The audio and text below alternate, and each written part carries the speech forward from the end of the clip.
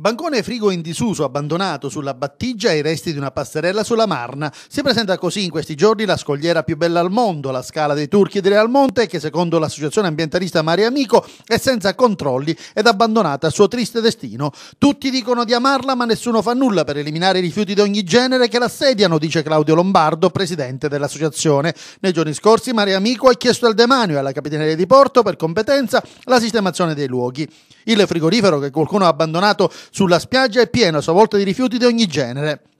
Mare Amico ha segnalato più volte situazioni di degrado che si registrano alla scala dei turchi di Real Monte, come ad esempio la transenna che il comune aveva fatto installare sotto la friabile Zona a rischio crollo, dove è stato interdetto il passaggio. Il sindaco di Realmonte, Lillo Zicari, ha replicato a Mariamico. Domani stesso invierò una squadra di operai del comune per la rimozione del frigorifero che stranamente si trova sulla spiaggia. Dico stranamente perché si tratta di un bancone molto grande e non capisco come ci sia finito in quella zona. Per quanto riguarda invece la passerella, aggiunge Zicari che era stata sistemata in estate per permettere il passaggio dei bagnanti dalla spiaggia alla scala, sarà rimossa non appena le condizioni del mare ce lo permetteranno. Infatti era nostra intenzione farlo prima, conclude il sindaco di Realmonte, ma a causa delle condizioni meteo marine non siamo riusciti nell'intento, ma molto presto saranno rimossi anche i resti della passerella.